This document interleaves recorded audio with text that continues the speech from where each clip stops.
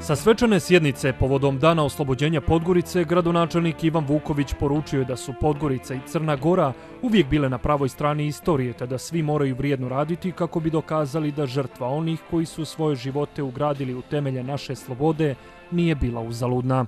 Nadahnjujući se njihovim primjerom, svakodnevno se trudimo da unaprijedimo kvalitet života u svim dijelovima Podgorice i naš grad učinimo istinski modernim i evropskim. U snažnu podršku vlade Crne Gore pokrenuli smo najznačajniji investicioni ciklus u istoriji glavnog grada, uključujući i realizaciju projekta Vijeka za Podgoricu sistema za prečišćavanje otpadnih voda. Predstavnici opozicije nisu prisustvovali svečanoj sjednici, a u našem jutarnjem programu Luka Rakčević iz Ure izjavio da po njegovom mišljenju lokalna vlast ne zaslužuje ni prelaznu ocjenu.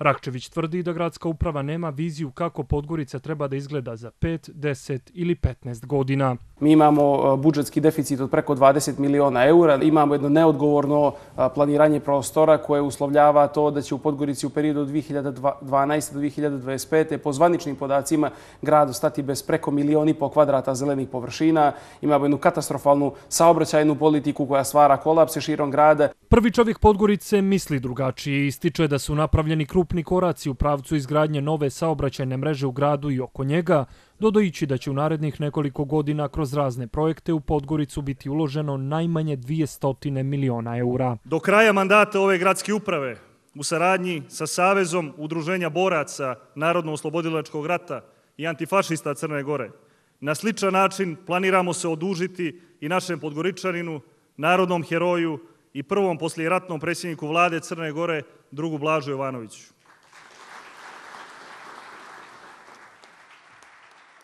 Postkumna nagrada 19. decembar pripala je Darko Vojoševiću koji je svoj život žrtvovao u pokušaju da u tragediji na Skadarskom jezeru spasi tročlanu porodicu Kumburović. Zahvalna sam gradu što je prepoznao Darkovu dobrotu i samo želim da Darkova dobrota i ovo što je on uradio useli se u srce svih nas i da svi budemo bolji jedni za druge.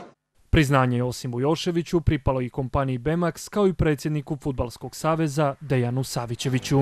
Tu su moji snovi, to je